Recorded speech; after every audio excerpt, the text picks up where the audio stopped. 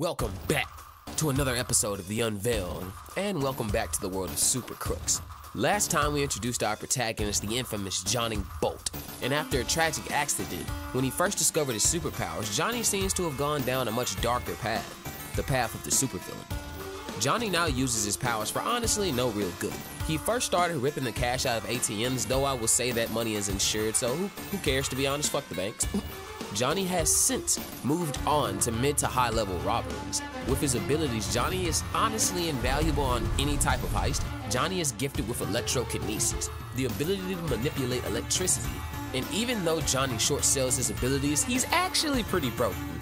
Johnny can hack and manipulate technology, erasing camera footage, disabling communications, or even exploding the vehicles themselves around him. Johnny can even fire bolts of electricity that can incapacitate other superpowered beings. Though we never get to see Johnny fly again, and I have a theory that he's too traumatized to do so, and you know, apparently flying is prohibited if not illegal in this world, but that's another video I'll get to. Following Johnny's release from the eighth month sentence at Supermax, the world's leading superpowered detention facility, we see he has no care for the consequence of prison and goes right back to his old antics, this time being surprised and persuaded by a group of his old supervillain buddies.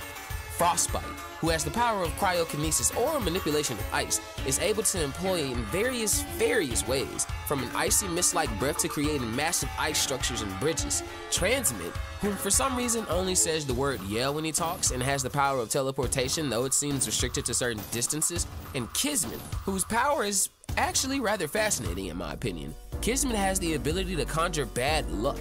When activated, it's clear he can cause some of the most possible scenarios to occur.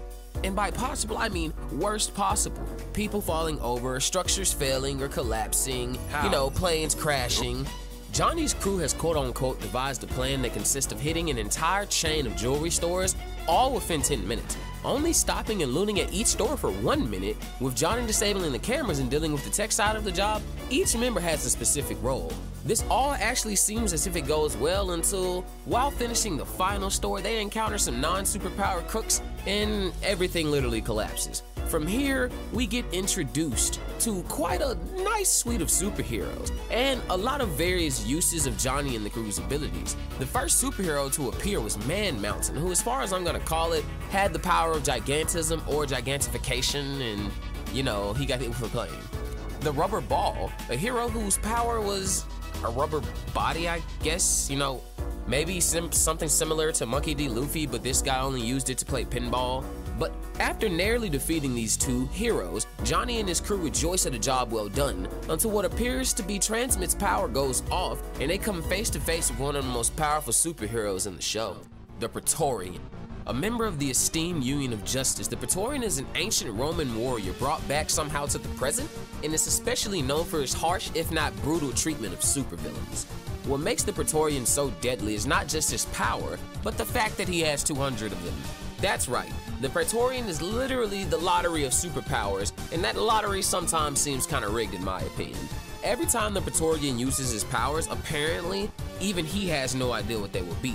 He can duplicate clones of himself that can also use his abilities, meaning the 200 powers get multiplied to the fourth power, and to sum it up, this man is literal hacks. After hunting down Johnny and the gang, he proceeds to one by one take each of the supervillains down.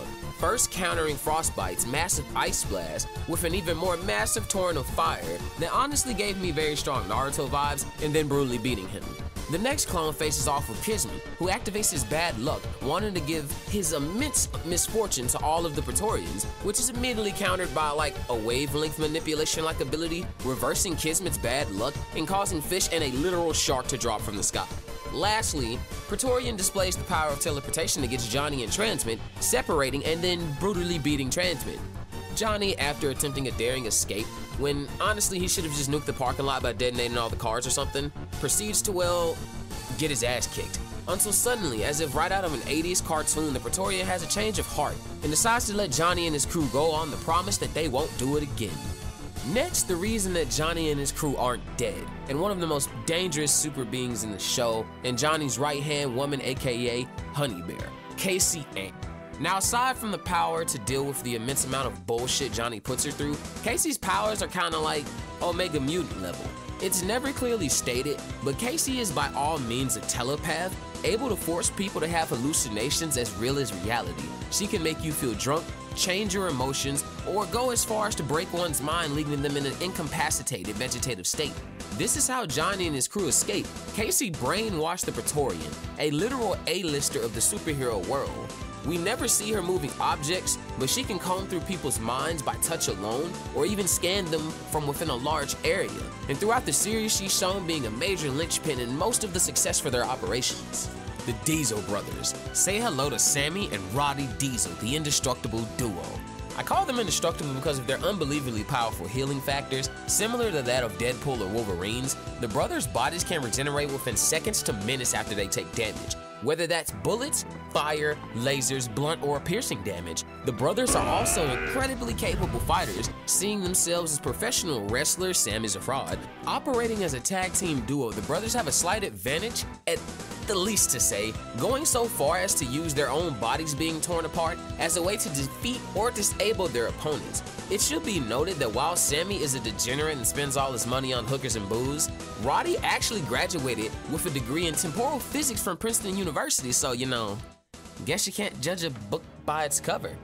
The Ghost, or Josh if you know. him. The Ghost has the ability to phase through solid matter, be it solid ground, concrete, etc.